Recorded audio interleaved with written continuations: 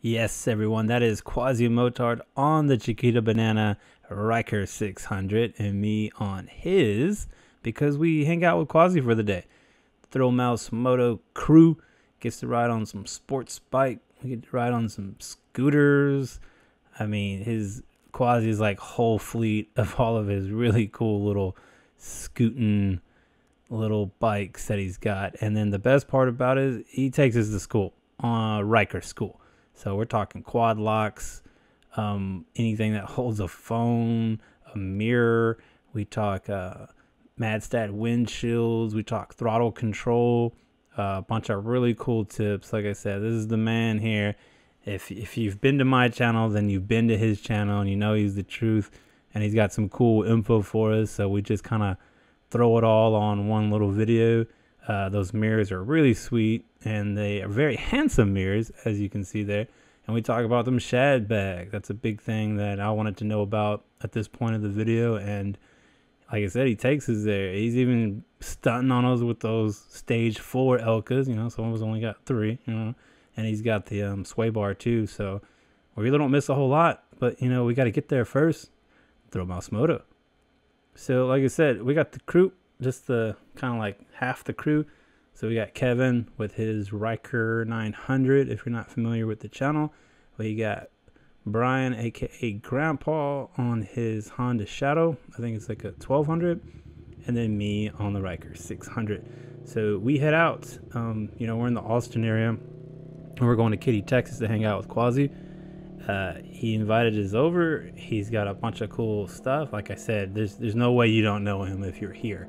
Um, he's like the first one in Texas, reportedly, to have a Ryker. So he was the one dropping all them cool videos we've all seen if you're a Ryker owner.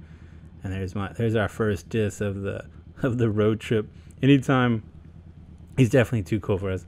But anytime we, we get him when uh, you know he wave disses when we're with Brian, I always blame Brian for it. I tell him it's because he's got a Honda Shadow. That's why.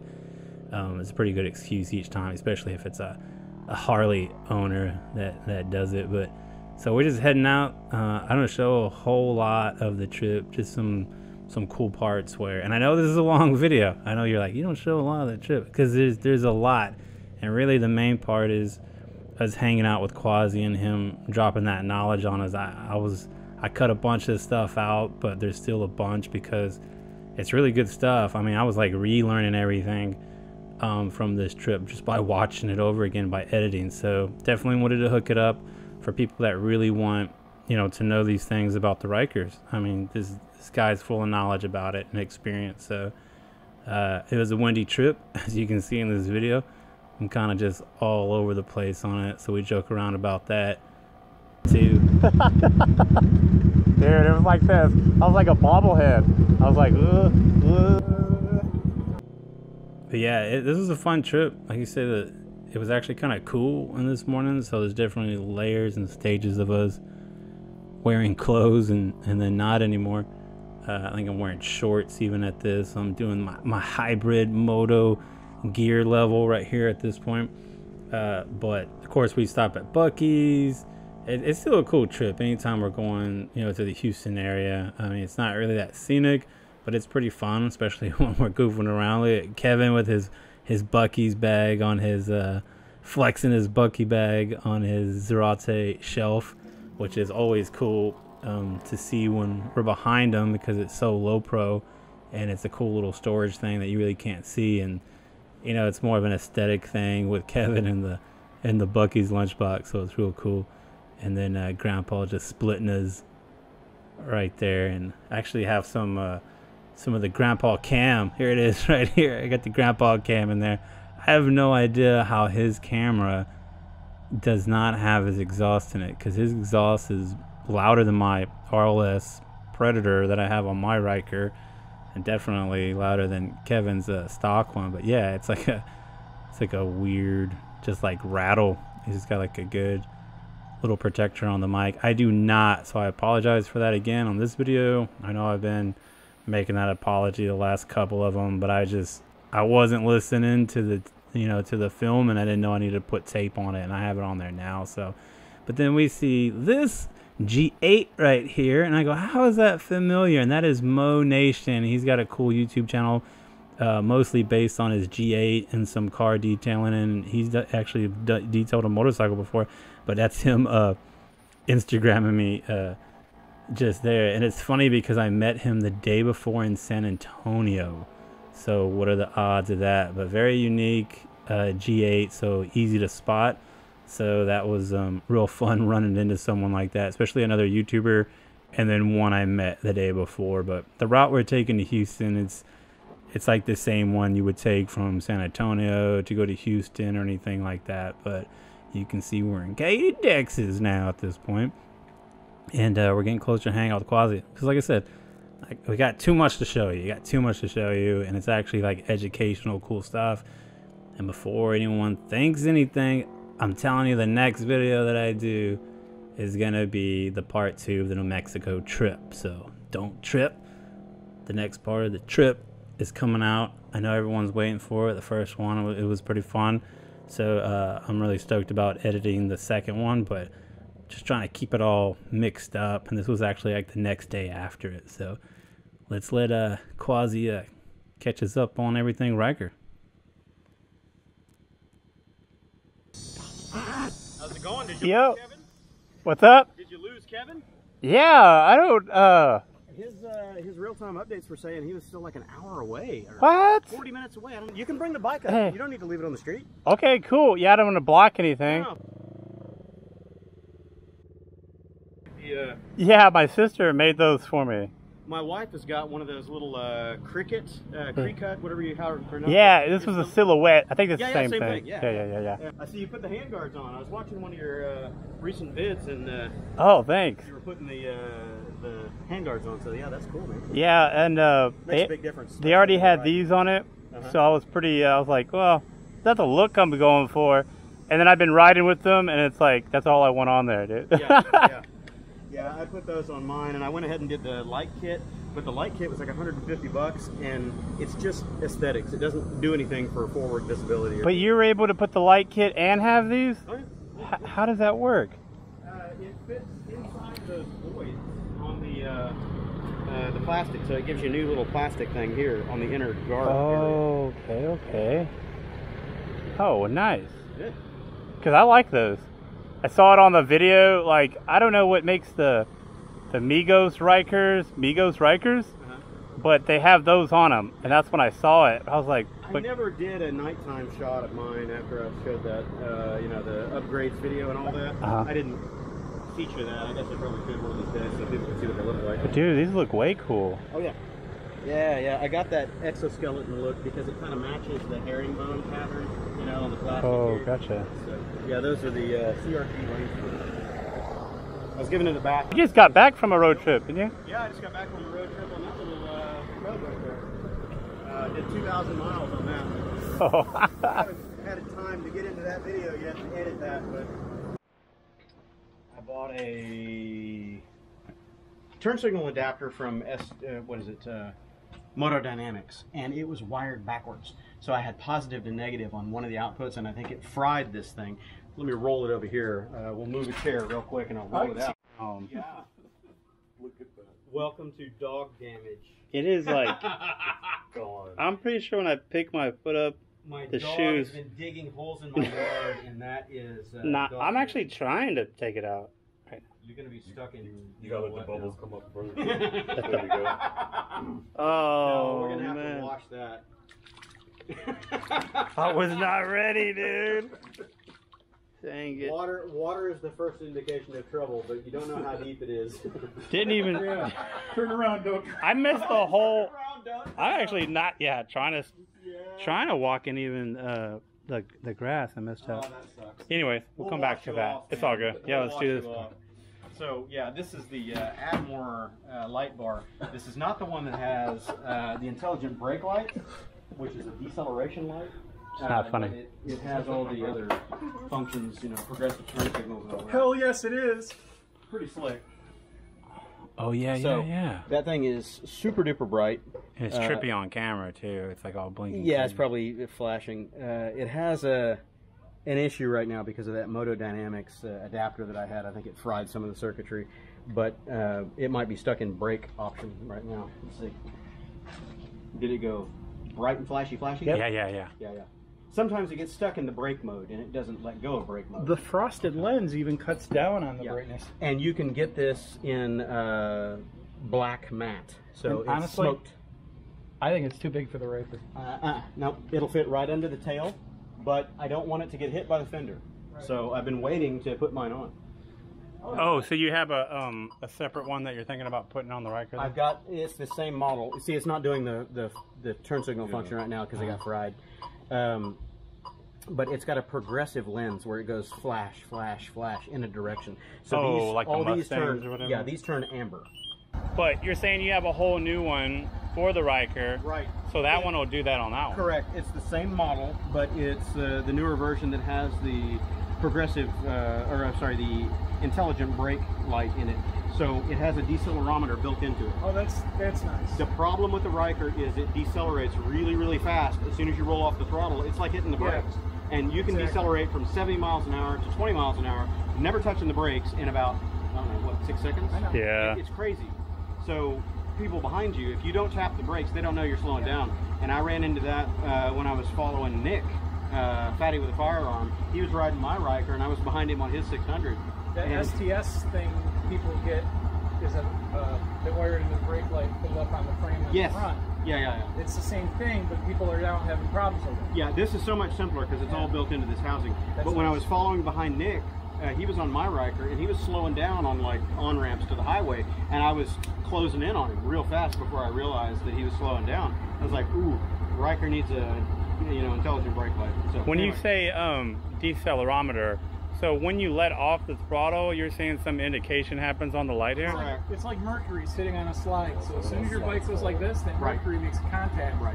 and says, "Hey, we've got power." Here. Right, but instead of a mercury switch, Yeah. it's a MEMS, which is a microelectronic mechanical sensor. Yeah. So uh, it, it's basically like the decelerometers that are built into your phone, and you can Okay. set the sensitivity. So in other words, you can. Uh, it's got a USB port on this guy. You can go and you can program the brake light functions, the decelerometer function, anything you Oh. want to be as sensitive or not as sensitive as you need it to be. Okay. So as soon as you start rolling off the throttle, you never have to touch the brake, and it'll flash just like it does Yeah. right here. I was gonna say, does it have the option to like it does flash? that. It'll do that that flashing indication to let people know behind you that you're slowing down, even if you didn't touch the brake. Right. So yeah, That's what happens when I'm following you. right.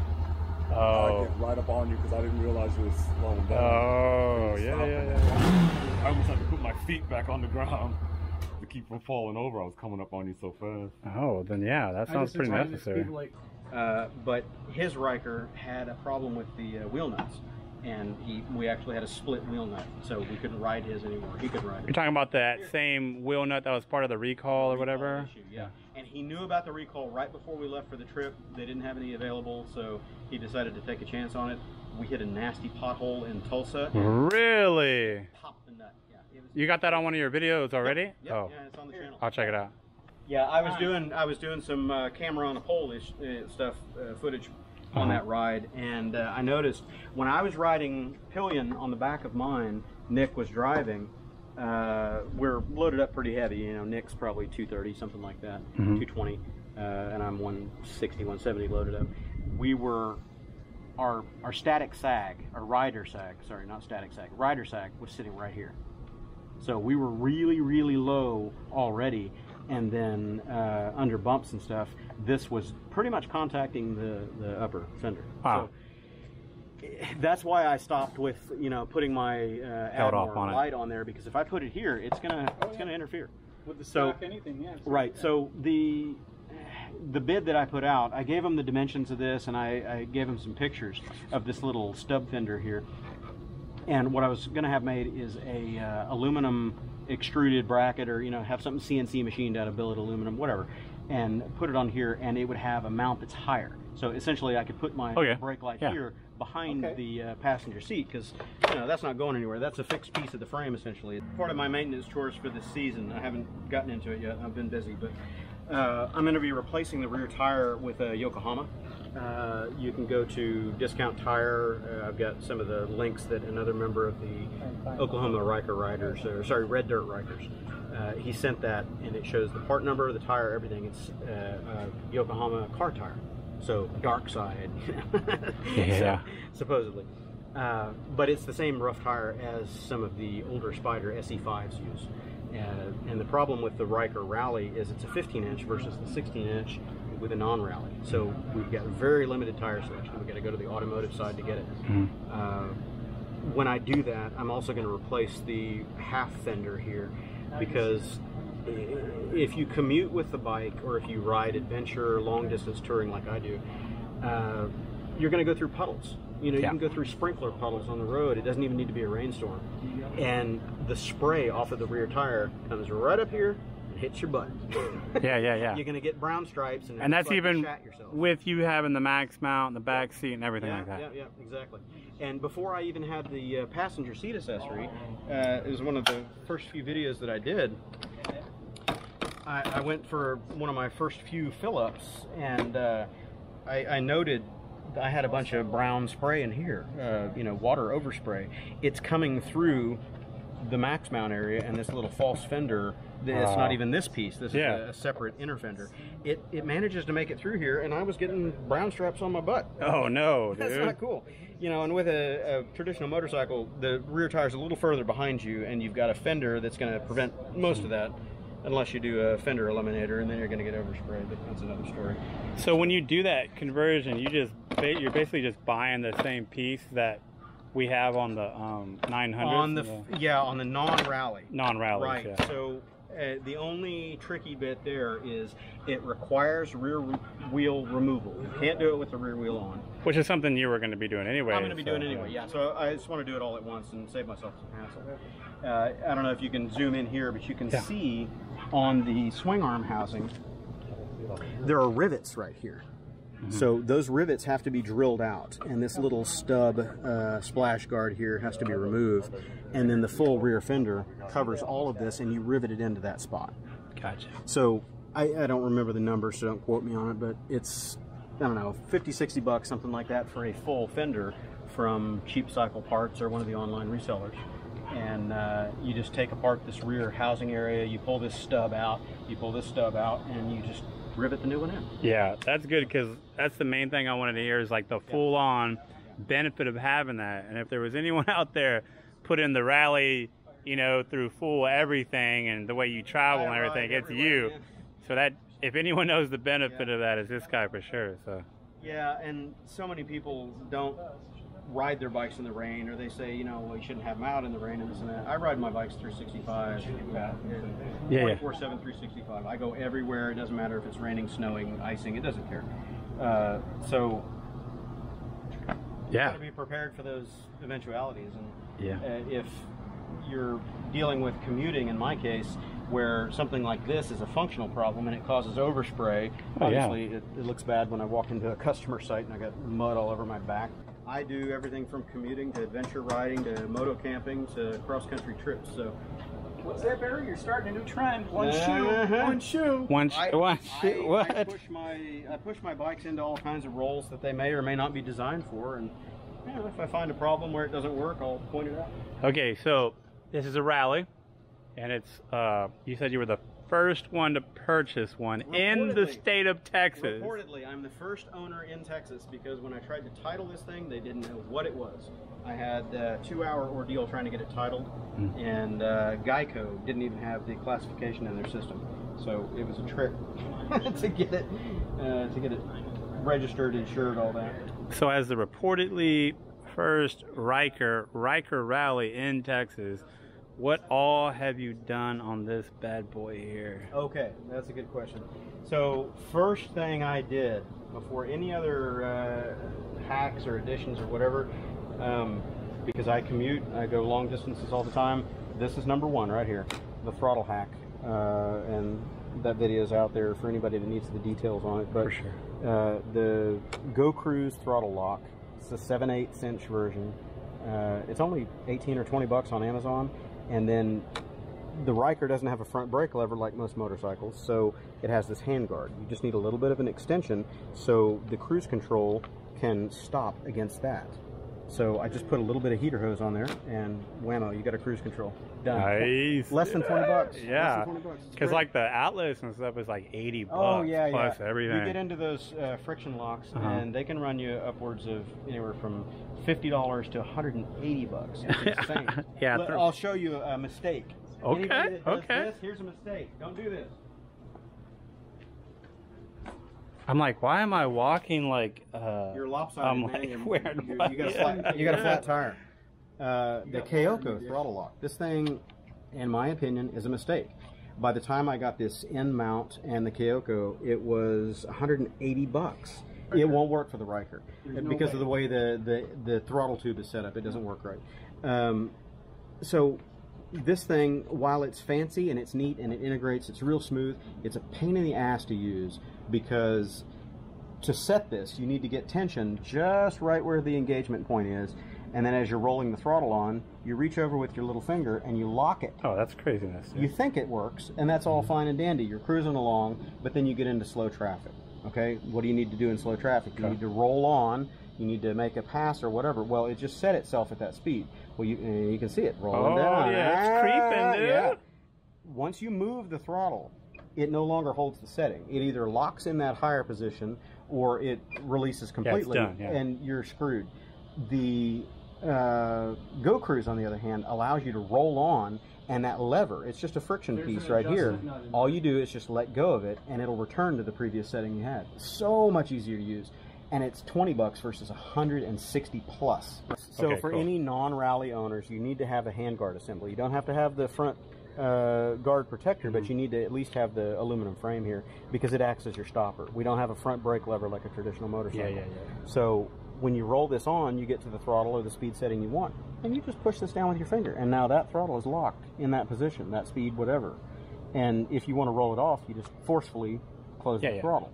But if you're cruising along highway speeds, you got it set, you know, three quarter throttle, whatever it is, and you want to roll on to pass somebody, you roll it on. You got that much extra throttle. When you're done passing that person, you get back in the right lane, let go. It goes right back where it was. Yeah. So it's not that release and tension nonsense that the Kaoko induces. Nice.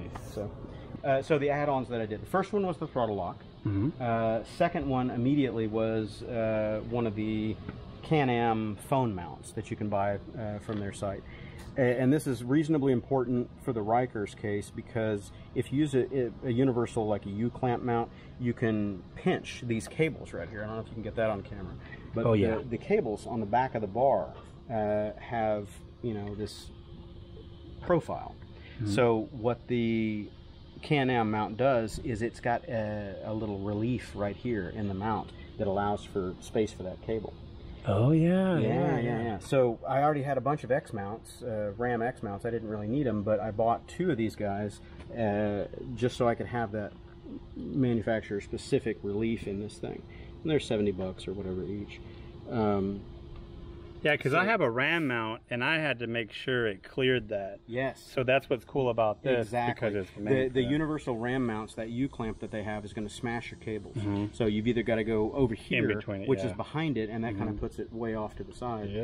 Uh, or you can just get these, and then this gives you your uh, one inch RAM ball, which is you know a pretty universal mount for everybody. So this mount came with the ball on it. The, yeah, the so the the BRP kit came with this mount and uh, a little short arm extension and the X grip.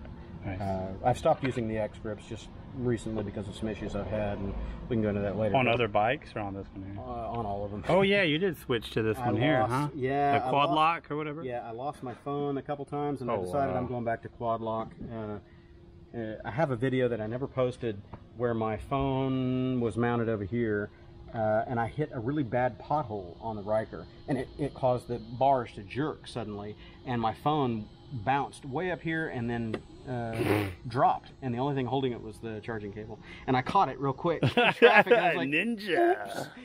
and that was the X mount. that was the X mount, the Ram X mount. Wow.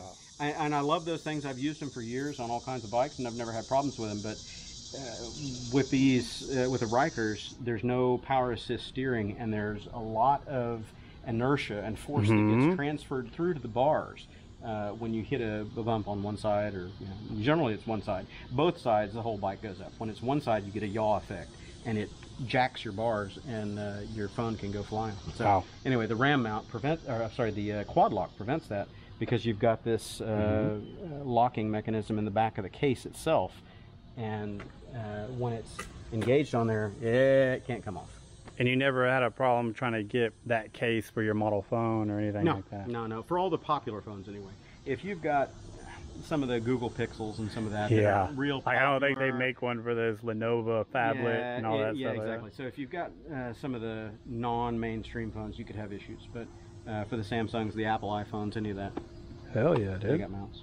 Yeah. So then the next uh, piece I put on uh, was the factory BRP uh, windscreen. Didn't like it much. It worked okay, and it was better than not having anything at all. But uh, I ended up buying this uh, Madstad engineering screen. This is the 18 inch. Uh, probably should have gone for the 20 inch. Did you sell that original one, or you saw? I gave it to Nick.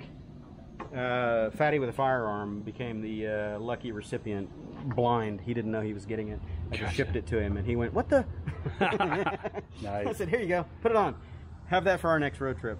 Uh, so the BRP windscreen is okay, but it has a taper right here, and you end up with a lot of dirty uh, air uh, overspill from the sides of the screen. The Madstad fixes all that. These are fantastic screens. I love these things. So even though the Rally comes with an OEM windscreen, No, yours- it doesn't come with a windscreen. Oh, it does not. It, it comes with a fly screen or a deflector. So it's just a little uh, stubby black piece Oh, of plastic. right I've here seen that that. fits Yeah, on the front yeah, of yeah. The gauge cluster. It's not big. It's only about this big, and it, it helps a little bit uh, with breaking up wind flow in your chest, but it's not going to deflect air. It's not really going to do much for you. Um, so I I wasn't really a fan of the BRP screen because uh, a lot of its mounting grommets and plastic pieces were cracking already after only six months Oh of use. wow, dude. I took it off and I showed that I think in one of the videos, but um, yeah, the BRP screen leaves a lot to be desired. So, nice. uh, And the you said Mads- the this is the what uh, dimension one? This is Madstad 18 inch light 18 smoke. inch light Uh, smoke. I don't do dark screens because at night It kind of looks clear. I'd be down with light smoke. It, it does until you're behind it uh, on the road or on camera, and you can see that there's a uh, uh, a little bit of a tint. Oh yeah, when you compare it there like that. Nice. yeah, there's a little bit of a tint. It's very very light. And then you got the little Uh, yeah, now this uh, this has been one of the biggest hits on the channel. Uh, everybody that sees this in the videos asks questions. Uh, you can get the name right there. It's the Rider Scan blind spot mirror. Nice. Uh, and there was a company in the UK that owned it for a long time called Hunter Create. And they went out of business or decided to sell this off to another group, which is uh, sporttour.co.uk or something like that. Uh, and they own it now. But uh, it's like 50 or 60 bucks. I like how you you were able just to adjust it like you can that, adjust too. it. Yeah, yeah. And in this case, I don't have it real tight because I need to be able to reach my adjustment screws for the Madstad. Uh, Sweet. We should show that, I guess. So when Uh, you take this off, this goes off with it. Correct. It's Okay. attached to the screen. Gotcha. So we can show that if you. It's more editing, sorry, but No, that's cool, dude. I'm telling you, this one right Uh, here. The uh, the Madstad is adjustable for height and rake, so it tilts front back. Mm-hmm. So you just loosen up the screws, and then you can slide it up and go high. just do that by wind protection. hand, no Right. tools, no nothing. So in town, when I need more airflow, or if it's really hot outside, drop it. If I want to go naked, that's the next neat trick. Uh, they've got these little quick release levers you can see in here. Mhm. You pull this out, rotate it away. There's another one on the other side just like it. And then the whole screen comes right off. If I can get it off. Gone. So it had. I didn't. it Oh, you had to tighten I didn't. I didn't have this one moved tightened down. Yeah, that's why it was fighting with me.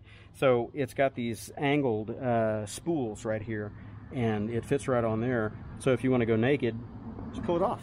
Yeah, yeah, yeah. It's literally a three-second thing. You just grab these little. Uh, they look like cigar cutters. that's what I. Oh yeah, it does, doesn't Yeah, it? So anyway, you just pop those little uh, locks loose and pull your screen right off, and you can ride naked. Nice. See, I like that because obviously that's what I like, and I like the look of mine. Yeah. But I'm not gonna lie, when we went to New Mexico, dude, and the desert, and when it gets nighttime, I'm telling you, I'm wearing like these swim trunks, Yeah, yeah, yeah. and then it goes boom, it's cold, Yep. and I'm like, well, even even when you go through bug storms at dusk, Mm-hmm. uh, when it you know low light at night, you will go through just millions of insects. It's unbelievable. Yeah. And if you don't have some kind of a windscreen, your visor gets clogged up with crap. Oh yeah. see where you're Well, going, that's what it's- it's a mine looks like right now. Yeah. Safety issue.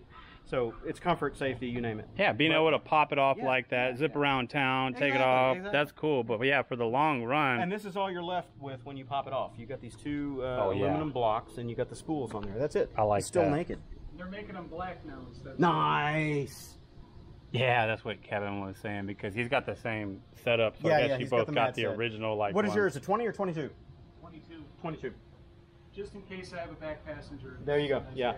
and and in my uh, my Madstad opinions or review interview or uh, video I was trying to give, uh, that's one thing that I noted is even at the high position, it's just below my eye line, which is a safety thing. You don't want to look through a windscreen. You want to look over it. 18, 22. Yeah. 18. Use a taller screen. Uh, at the highest position, it's just right for me, barely. Mm-hmm. When I add the Airhawk seat, uh, it raises me up a Oh, little bit. yeah, yeah. And I, it's not quite as tall as I would like it to be. Uh, but if I have somebody sitting back here pillion, their head is three or four inches taller than me. So the screen isn't really doing them any good. The taller screen that Kevin's got on his, that 22. So that's something you, you think you might convert to? Or- Yeah, uh, in fact, I was waiting for this one to get beat up, and I've already got one little scratch on it, so that gives me an excuse. So there you go. I'll prob- Anyway. I'll probably get the 20 now, just to go up another couple inches. Because But- when you shove it all the way down to its lowest setting, it's still pretty low. Mhm. So, now, but you, but you'll keep all the hardware, or how does that work?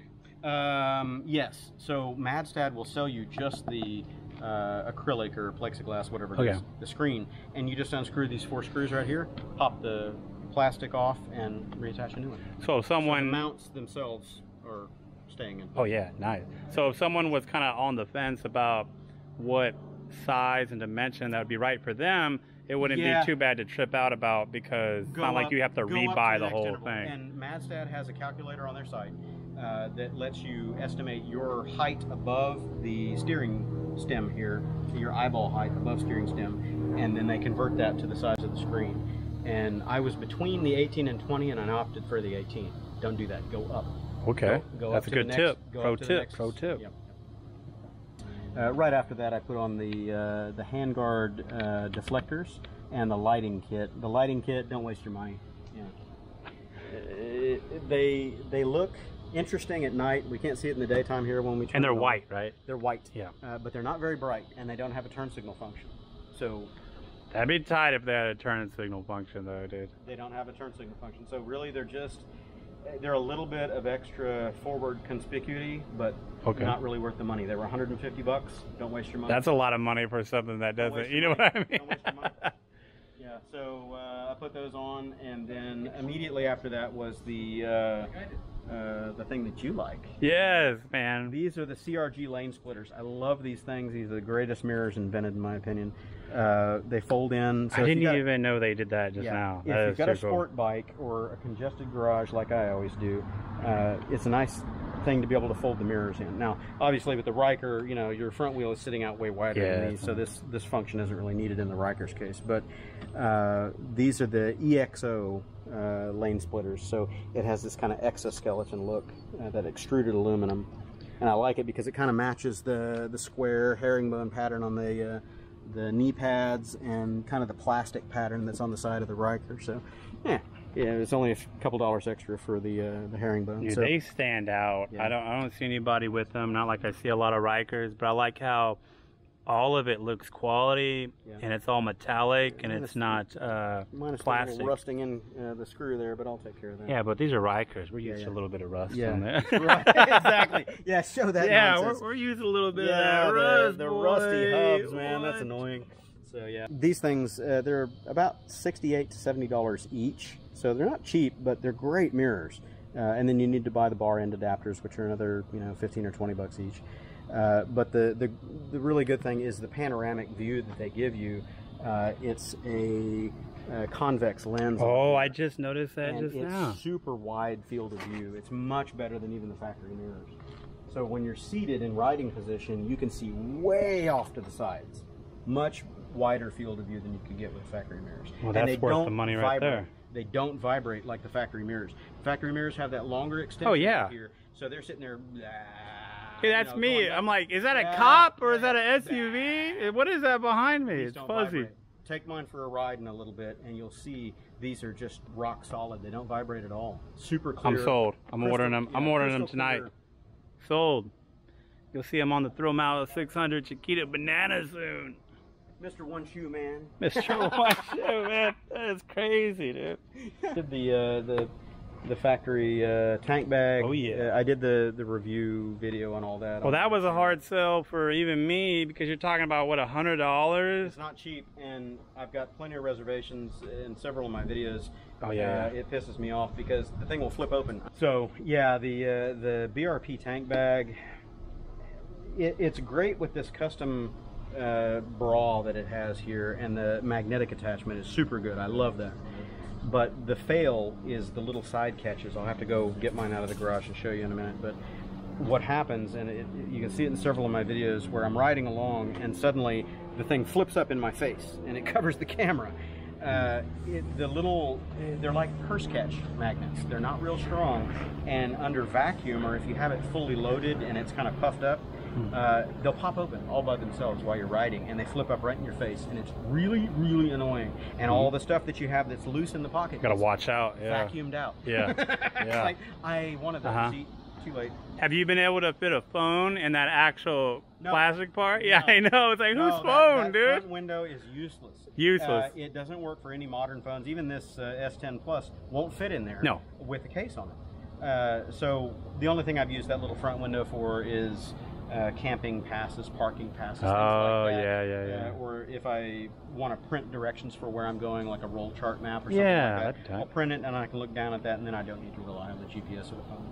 Uh, but yeah, so the the factory tank bag, eh, Mhm. it needs some work. Uh, now the factory tail bag that BRP was selling was a fail. Uh, that Factory tail bag. Yeah, yeah. They had a little tail bag that was actually adapted from the watercraft, and it, it doesn't work. The, the top is too narrow. You can't fit anything in it. I've got a really small ultrabook laptop. You couldn't even get that thing in the lid. Wouldn't fit. And it mounted on the uh, max mount? It mounts Or? right on the max mount. Yeah, I don't have it anymore, so I can't show. It's all good. But uh, I, I used it for a little while, and it made an excellent backrest. It was the best backrest in the world. You could lean back against it at stoplights, and that was its best function. But for 200 bucks, No, yeah, $200 backers. Yeah. fail. Two thumbs down. Well, that's what I want to know. gave it away. Yeah. I gave it away to another Ryker owner. What's that? Is this, is this a, Oh yeah, those those are the uh, knee pads. those are the knee pads. Okay. We're getting to that, Kevin. Now I, I just just noticed it. I'm sorry. I just I just added the knee pads lately. Uh, I had them for a year and a half, and I just never put them on. But right before my Twisted Sisters ride with Nick, I knew that we were going to be doing a lot of carving and you know cornering and stuff like that. So I decided, hey, I'm going to go ahead and install these guys. They're real simple. I didn't know they were that thick. That's why I Yeah, was it only takes checking. about you know 10 minutes to put them on. You just need to clean the surface with alcohol uh, on the plastic here, and then they've got a couple of little tabs. You won't be able to get it on camera, but they they wrap around and it's little one-way uh, tension clips that you push on, and it holds the the rubber on there. Uh, but I actually like them. They work really well. I don't know if they're worth a hundred bucks, but they work well. So when you're cornering uh, and you're gripping the, it's not the tank, but we'll call it the tunnel. When you're gripping the tunnel with your knees, your knees don't get beat up by hard plastic. Okay. Yeah, I'm down with that. Yeah, well, and and like what Kevin was saying, it does cover up the discoloring that you might get It from that too. Yeah, and the the plastics, you know, it's ABS plastic all over the Ryker, so you get sun fade, you get that chalky appearance, and you there's not a lot you can do about that uh, other than you know like Mothers or Meguiar's Back to Black, so stuff like that. It helps, but it's plastic. It's What is it you use? Mothers? Back to black? Yeah. Okay, cool. I just bought some, but I haven't Yeah. used it yet. It works, but it's still just covering the problem. If you want to get rid of it, heat gun. Heat gun, Heat gun. and that just makes it black again, or what? what, what happens is the top uh, few micrometers of plastic, you know, just the, the very, very surface of plastic Okay. dries out, and that's what gets chalky. So the oils uh, from the, the ABS dry out, Okay. and that's what gives it that white appearance. If you go over it with a heat gun gently, uh, it remelts it essentially and brings up all the oils and blends it out. Wow, did not know that. Yep. That's a pro tip Yeah, for sure. yeah. Go to uh, go to YouTube and look for uh, door panel restoral or something like that, or ABS heat gun. That's all you have to search, and you'll find all kinds of tutorials on how to use a heat gun to gently bring back uh, color and vibrance plastic without chemicals. Nice. Pretty cool. You know, I added the passenger seat accessory and the foot pegs, and then the uh, the pannier mount on the side. Uh, we can show that. Let me grab the pannier. Sure. So I showed this a long time ago in a product uh, review for all the accessories on the Ryker. Mhm. Uh, I already owned a set of these bags for my CB500X and uh, FZ6R that I have. Uh, this is the Shad 3P system, so you get a pair of these guys. But uh, Can-Am decided to make a mount that fits the 3P system, and when you buy this from Can-Am or BRP, uh, it I don't remember if it has the Shad logo on it or not, but you're just buying the right bag instead of a pair of them. I've only seen it with Yeah. shad like So this mount is like a hundred bucks. It's really not bad. If you're already on the bags, then you can switch it from another bike. Uh, and this is the one piece of engineering from Can-Am that I'll say they did right. Uh-huh. It, it was so easy to put on. It works really well. Uh, they had thread lock paste on all the, the bolts, so it went on in five minutes. It was zero Nice. trouble. And to put the bag on, it is just so stinking simple. If I can get on access with it instead of the top. That's it, done. The bag's on, game on, done. Wow. Uh, and the bag, a lot of people have a problem with the asymmetric nature of it. You don't have two of them, and it looks funny because it's lopsided, because you got a bag on one side and no bag on the other. But what are you going to do if you're touring? You know, you need Yeah. to carry rain gear, you need to carry stuff with you, and you don't have a tail bag. Well, there you go. well, I always consider these type of things just for more of the purpose and how it's supposed to look. You know what I mean? Right, right, right. And super functional. They're water, very, very water resistant. I won't call them waterproof because if I go through heavy downpours, occasionally I have a little bit of water in the bag, but it's just drops. You know, it's nothing, no big Yeah. deal. It doesn't soak your stuff inside because it has a rubber seal here and then, uh, you know, a labyrinth design. So it, it keeps most of the crap out of there. And you can fit a full helmet with Full a helmet will fit in GoPro mount and everything on Not with a GoPro mount. Ah. Not with a GoPro mount. With my big monkey face uh, Yeah, that yeah. I've got on there, it doesn't fit.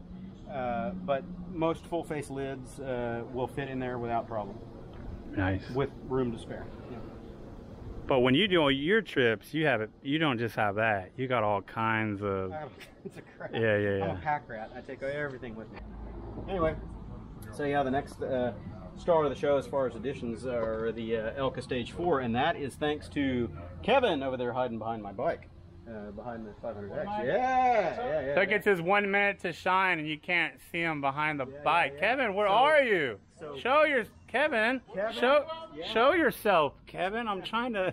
I heard my name. What? Yeah, so He's giving Kev- you credit for the. Kevin and Tom uh, turned me on to the Elkas because I was looking at a few different companies out there. There was an M2 or Yeah. something like that that I looked at, uh, but I rode uh, Kevin and Tom's Rykers, uh, and I was sold on the Elkas. Just done. Take my money. Shut up. Take my money. Uh, so I put in the order for these uh, Elka Stage 4s. I put in the fronts, but I have not put in the rear yet, uh, just because it involves jacking up the bike and tearing apart more of it. It's Uh, about so- a three-hour job if you've never done it before, and you obviously have done stuff. So I would say an hour and a half. I'm sure I can do it in an hour, hour and a half, but I'm waiting until I get the rear fender, Right. uh, and I'm going to do the rear tire at the same time. So just. Oh, wanna- yeah. I don't want to tear it apart two or three times. I'll just do it once. But these things make a huge difference. Uh, stiffer sway bar on the front end is definitely needed, in my opinion. Mhm. I don't know why BRP sold the Ryker with such a, a weak sway bar, because under single wheel uh, incidents where you've got a pothole or a ripple or something like that, you you get an induced hop on one wheel only, and it creates a yaw effect in the handlebars that's really really hard to manage.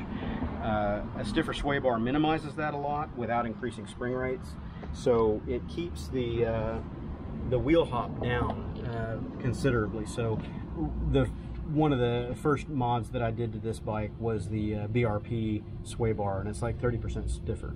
Uh, it's not a Baja Ron uh, sway bar or anything, and it, it still has the factory end links in here, but it made a huge difference in cornering and a huge difference in straight line stability on the highway when you get into ripples. Uh, here in Houston, we've got all those little reflectors that are lane markers, and when you touch those when you're changing lanes, the front of this thing, I think I have it on video a few times, the front of it would set up this violent, vicious jackhammering. and the front end is just. "Ah!" Yep, I'm, I'm yep. all over. I'm, I'm a lane and a half wide, and people are honking at me. And Definitely get your end links because those stretch. yeah, yeah, yeah. So uh, that's going to be the next thing I put on is the end links. But the BRP sway bar or a stiffer sway bar, whether it's Baja Ron or another brand, uh, Recommend it. Makes a huge Nice. difference in cornering. You can go around the corners now with this, and uh, the traction nanny doesn't fire and slow you down, and Yeah. you know start you know And he's the, one of the biggest proponents coming back from that huge trip and then putting shocks on. Oh yeah. So like you know, Oh, yeah, yeah, your new riding for hours and hours. We took like a two-hour nap, then rode for hours and hours and hours. Yeah. Then I went to his place the next day. We put, um, I don't have the, the super cool fours, but I put those threes on there, Uh-huh. and uh, And and then we drove. Yeah, and then we drove Yeah, to San. Antonio, and it was like I was hitting stuff that normally would like threw my hands like off the handlebars, Oh, yeah, dude. yeah. You hit you hit a pothole, and it, it's just a miracle that you can maintain control of the bike because blam! I mean, suddenly everything is just Yeah. not where it was a tenth of a second ago. So yeah, I would say I'd have like a pretty valid review on that because I just came from like a long trip off of stock everything, you know, and then I put those on and it's like a cloud now. And I got the clearance because like we were talking about. Right, the it clearance. raised you up a bit, yeah, Yeah. because the front of the Rykers is very, very low. Now, which bar do you still have on here? That's the stock bar. The stock bar Yeah. with the aftermarket. But after what you said, it's like, man, if it really is Yeah, that crazy, yeah, you got to go with a stiffer bar. Like I said, the man knows his stuff. Whatever you're interested in Ryker, you have to check out QuasiMotard's channel. The info is going to be in the description, the details, everything you need to know. I'll probably pop it at the bottom right there again if I haven't already throughout the video. Check him out. That's just brief stuff he was sharing with us and you guys. So find the real stuff on his channel. Cool videos on pretty much everything that he mentioned. But let's go check out Quasi's bikes. We can just head over to my warehouse and uh, do whatever else. I don't know. Hell yeah, let's do that. Yeah. Well, as you can tell, we're all pretty stoked to go out there, and uh, of course we are because we we know we've never ridden any of Quasi's cool stuff that we see on his channel all the time. But what makes it cool is Quasi's actually pretty stoked that we're going out there, you know, and they're his bikes, you know. So, but that's just what kind of dude he is. He's cool. Um, he's stoked to see other people stoked. He likes giving people knowledge, experience, things like that. Um, so, it, of course, we're gonna have a bunch of fun. So this is this is the highlight of the tape, other than you know getting that cool walk around his uh, famous uh, Ryker rally there. So heading out to the warehouse, we're gonna ride some scooters, uh, sports bike, and there is way more stuff in there. See, we're having he's stoked for us, man. I mean, he's got go karts, doom buggies, all kinds of wild stuff in there. So I'm glad uh, we can share it on the channel with you guys.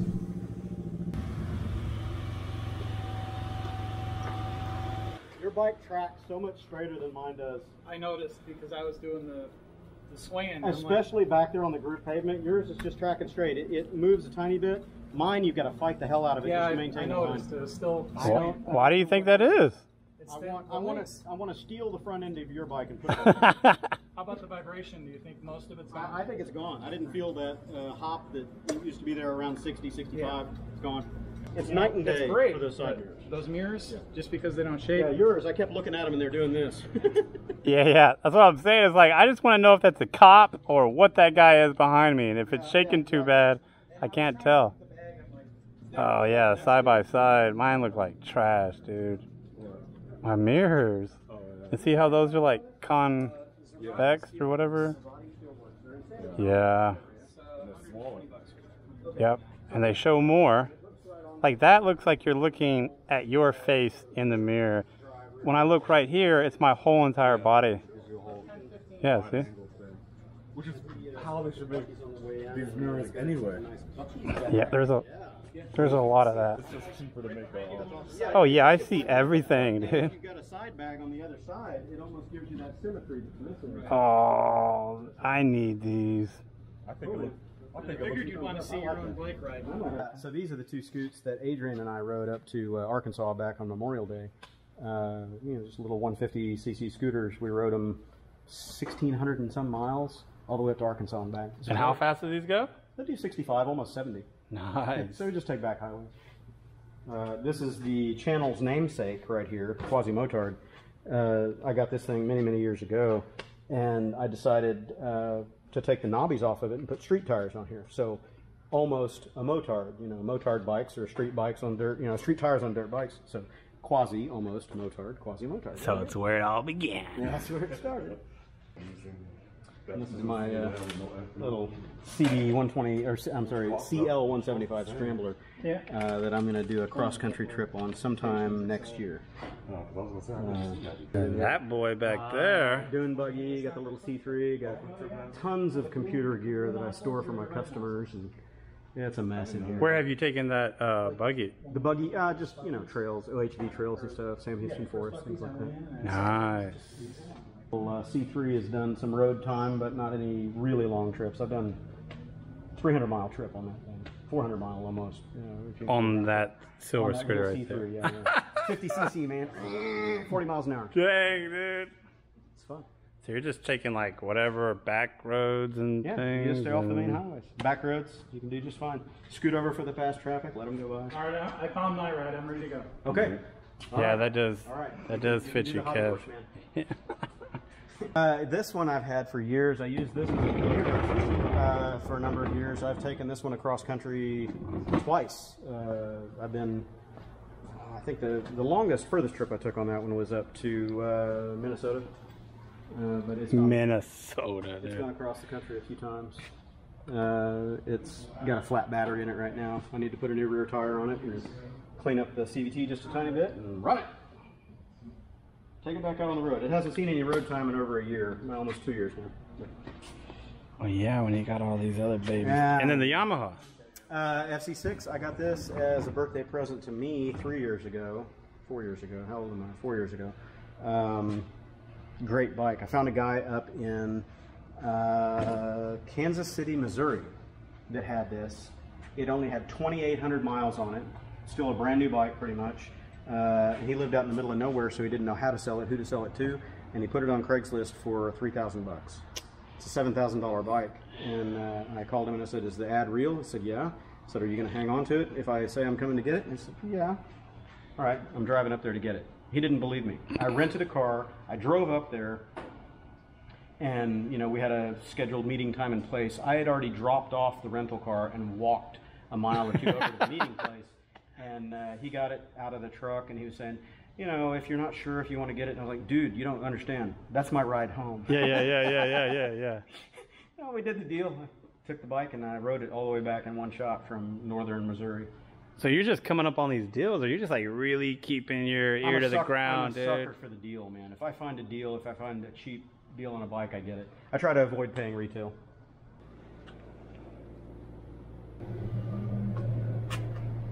Let, let me just start off. You should feel honored and privileged because you are getting to ride a bike that's covered with Arkansas bugs. Oh, This thing has- actual This Arkansas hasn't- thing hasn't- artifacts, yeah. dude. Mm, Yep, that's Arkansas. Yeah. uh, it hasn't had a bath since the Arkansas trip.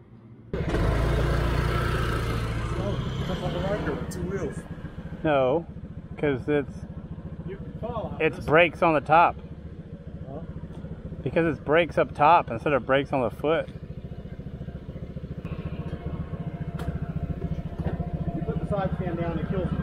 The scooter. I'll wait for Kevin and Gallo. It's out your way. Oh, nice.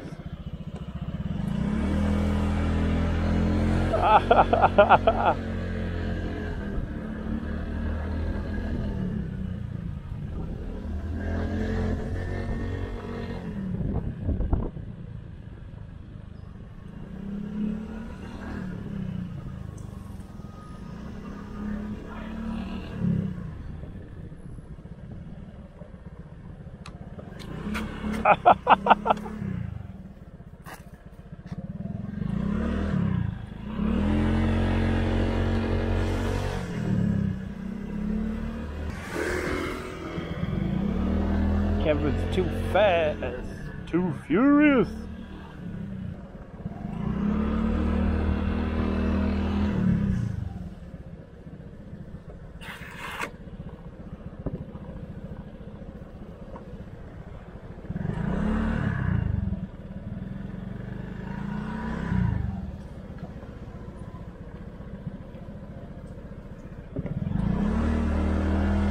Dude, turning is weird.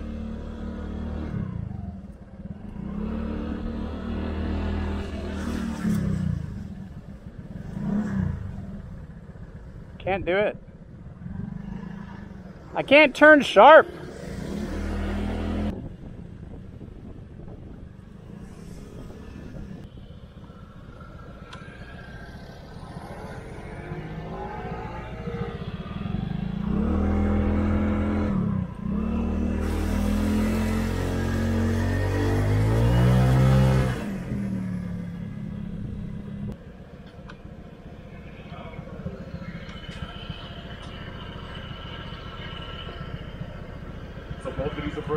Yeah. Turning is weird for me. Well, it should be. You gotta lean into it a little. Yeah, see, I'm not used to that. Yeah, it's weird.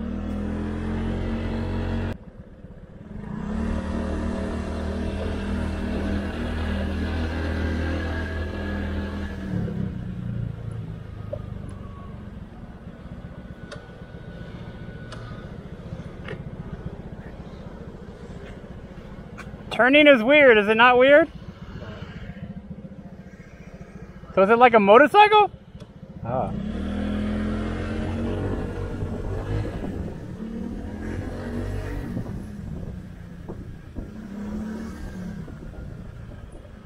Okay.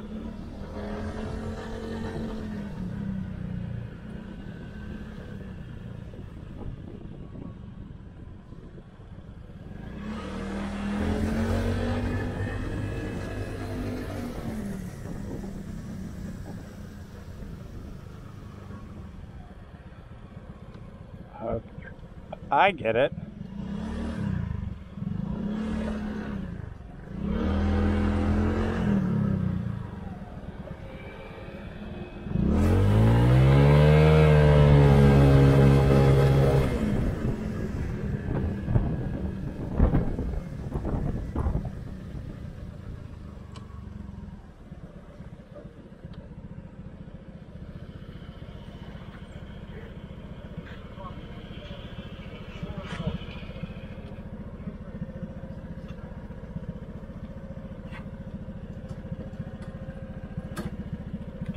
Yeah, these things actually have great cornering uh, ability. It's insane. We were railing them through the mountain trails in uh, Arkansas, and we were banking them way over. I was wondering if I was going to start dragging the exhaust. I was like, wow, we are cornering the shit out of these things. Yeah. I'm going up to the car. It's like, I'm like, is he gonna hit the car? No, I ain't hitting nothing. I knew you weren't. But I was expecting to turn already.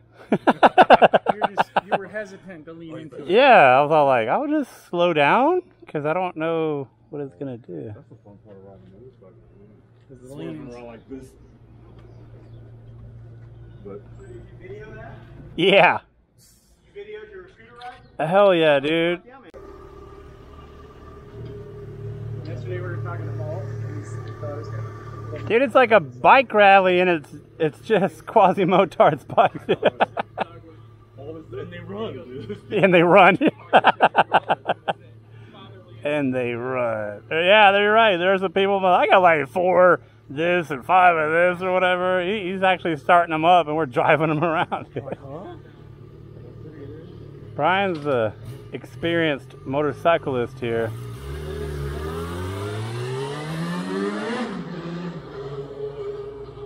Dude, that's the way those sound? Is that intimidating? Uh,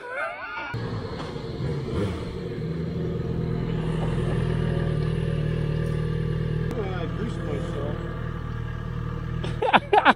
It's easy to ride. This thing is so forgiving. It's not a high. Yeah, exactly. you need a step stool, Grandpa? bike. It's a it's a 75 horsepower bike. You know, it's not crazy fast. Or anything. What else? Alright. Don't get the, All the way up. he got them long legs. Look at his legs on that bike, dude. Legs are folded up around his ears. I know. like he's riding a tricycle. toasting. Oh, oh, break, break. What you think? still, it still hurts my hands though. It's a sport bike. Yeah. Yeah, Because It of the. Uh, smell. it doesn't smell. Drop. You want to ride again? I do not. You don't want to ride. okay. Go ahead. Dude, it's been 30 years since I've written anything.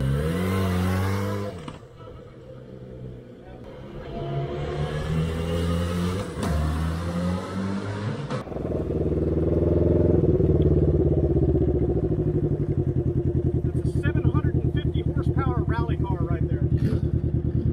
This car, right here. Whose is it? That's yours? What are you doing? I have to see that. You can't say. It's not driving right now. It's been sitting for too long. Oh, okay.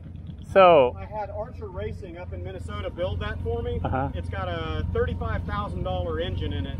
Uh, I built it for rally racing. It's putting down 680 horsepower to all four wheels. 730 at the crank. is, It's insane. is that what you you've been taking to that to that to that track you were talking about? no, I, this was a while back. I built this thing 15 years ago. Oh, wow. Yeah. And But- that's my Accord sitting there because I didn't have room for it at the house. But why Mitsubishi Galant? Like, what is? That was the first rally car. Before Evos existed, before Subaru WRXs, that was World Rally Champion right there. Wow. Production rate, production class racing. Nice.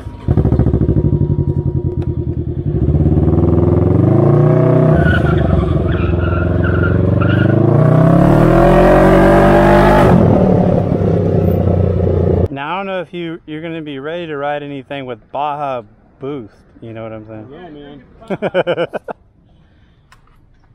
It's that button on the left side, the big red button, the one that he didn't tell you about. yeah. All right, let's do it. Uh, QuasiMotard on the Chiquita Banana Ryker 600.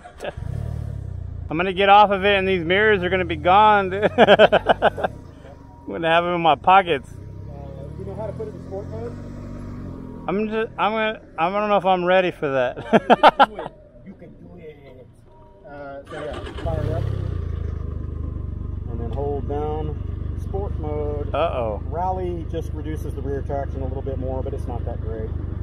Rally is more of a gimmick. Sport mode's good. The, it gives you a better uh, throttle response. Already.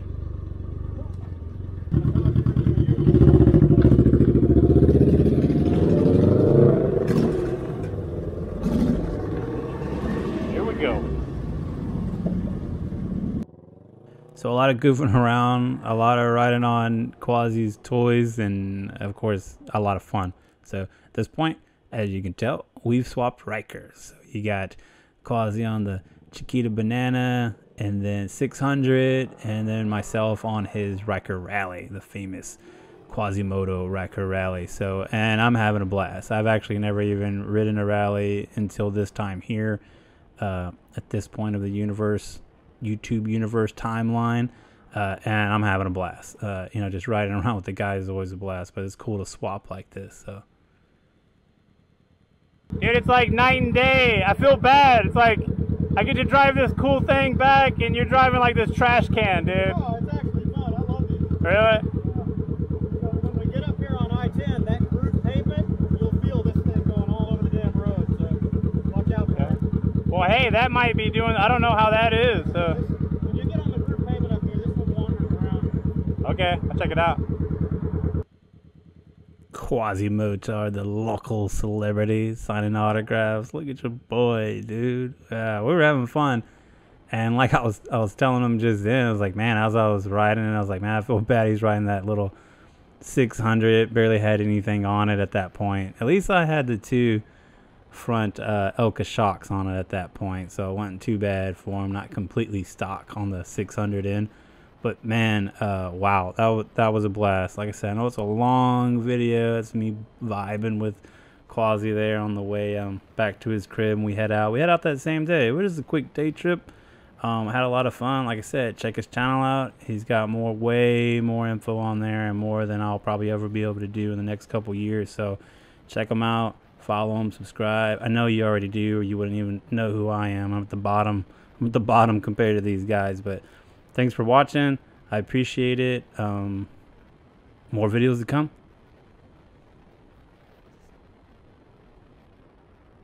It gets his one minute to shine, and you can't see him behind.